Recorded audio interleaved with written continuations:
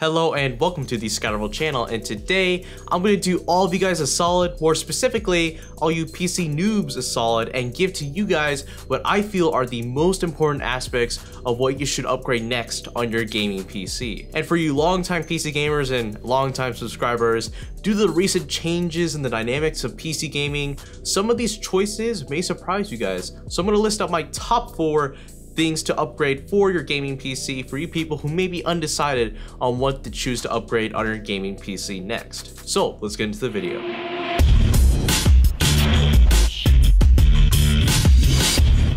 So beginning this list and what I feel like is the most important thing you should go ahead and consider upgrading on your gaming PC is surprise surprise, not the graphics card. In fact, I think the most important thing you should consider upgrading is your storage solution. So put away your GPU egos for a second and hear me out. So first of all, in the majority of my budget PC builds, I usually go with the Western Digital Blue hard drive because it's a very cost-effective option. It still has great performance for its price and tons of storage.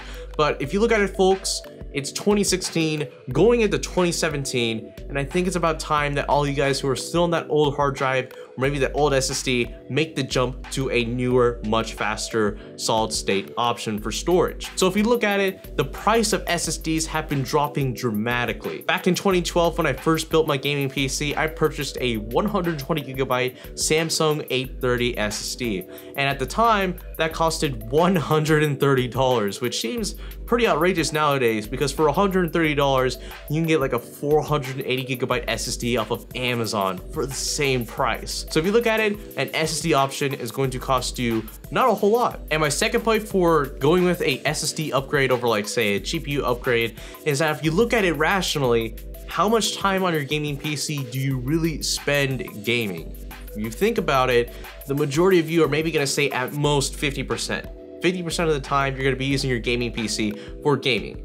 But for like us college students or us booked high school students, that may be about 10 to 20% of the total time we're using our gaming PC that's spent on actually gaming, because the rest of it is probably going to be on work or other things. So if you look at it rationally, you're going to be getting more out of getting an SSD upgrade to your system rather than a GPU upgrade to your system, because you're going to be using the benefits of an SSD more over the benefits of a faster graphics card just due to what you decide to actually do with your gaming PC. And I mean, let's be real, your gaming PC isn't just a gaming PC. It's probably also your work PC. PC or your home office PC. And finally, for you people who do know the greatness behind going from a really old like hard drive or old SSD to a brand spanking new one, the difference is insane. It's like you're giving birth to your PC again and it's like it's running like it's brand new like when you first got it. So getting a new SSD upgrade from like an old storage solution is going to definitely show and you're definitely gonna love the effects of that much faster solid state drive. Now in number two, we have upgrading the CPU cooler. Now, I know this is a fact, but there's still a large majority of you guys who probably are still using your same old Intel CPU cooler or your same old AMD cooler and it's time for an upgrade guys. Get off your couch, find a new CPU cooler because now is the time to upgrade your CPU cooler considering how cheap they're becoming nowadays. For $30, you can be set pretty well for like your next CPU cooler and this could be like getting a $30 Cryorig H7 CPU cooler or like a $35 Cooler Master Hyper 212X CPU cooler and then you can pretty much be set for forever. Also another great thing is that a CPU cooler upgrade can fit in any price range. If you want to spend $70 on it, $50 on it, $30, or even $120 on it, you can find almost anything to fit your next budget for your CPU cooler upgrade. And lastly, not to mention, the difference between a stock cooler and an aftermarket cooler is insane. You're gonna be getting a much quieter, faster, and much cooler gaming PC by upgrading the CPU cooler, and that's only gonna cost you like, what, $30 or whatever at the very least? So a CPU cooler upgrade is something you should definitely consider doing if you haven't done it yet, because you're definitely gonna notice the difference, and you're gonna especially love it where you're gonna be having those low cool temperatures, having a much quieter gaming PC at the same time. But real quick, before we get to number three, and I know the suspense is killing you guys, throughout this video, I've been pulling some images for my B-roll that which you can't exactly find on Google, and there's a reason for that. I've been pulling all these images you've seen throughout the video from a website called GraphicStock. So for you guys who may be unfamiliar with GraphicStock, it's an online royalty-free image browsing database that has tons of free images to use for your presentations, videos, websites, whatever, but best of all, all their images are copyright free, which I find to be very valuable in today's really anti-copyright internet climate. And finally, there is no limit to how many photos you can download, unlike some other websites that could charge you like $30 for a single image, which I find pretty ridiculous, and you can find almost anything on GraphicStock. So for you guys who want to go ahead and get started with graphic stocks, they're going to be offering a limited time offer where you can get $50 off of your yearly annual subscription, and you can get that through the link that you see right here, and I'm also going to have that link in the description down below for you mobile users who can't click any of the annotations on the screen. But anyways, let's get back to the video, shall we? So here it is, at number three, I have the GPU upgrade. So there is still a lot of worth in upgrading your graphics card nowadays because if you guys haven't noticed, a lot more games nowadays are taking advantage of the new technologies that are being offered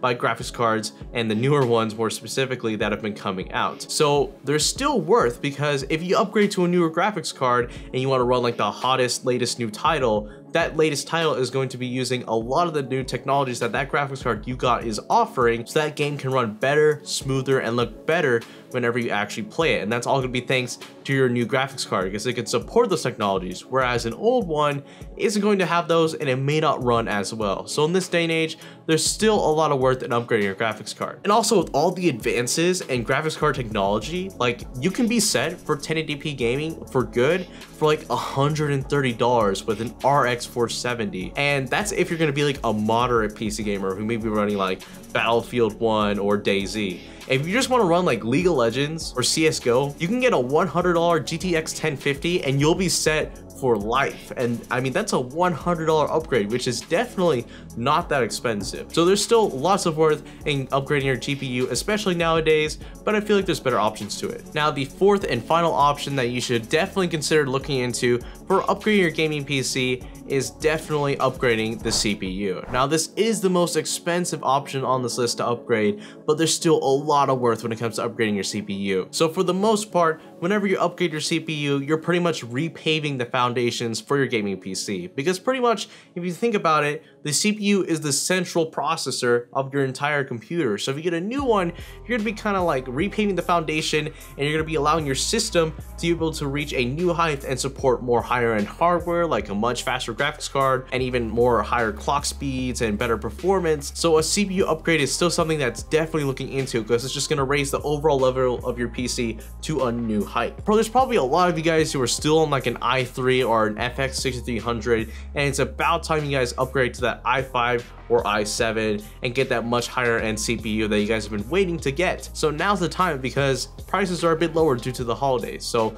if you guys have run out of all options possible, I would still highly look at upgrading the CPU. And if that means getting a new motherboard, then yes, that's included in the price, but it's definitely gonna show when you pretty much breathe life back into your gaming PC with that newer processor. Anyway, so thank you guys so much for watching the video. Make sure to like, favorite, subscribe, and all that. And this is the ScatterVolt channel signing out.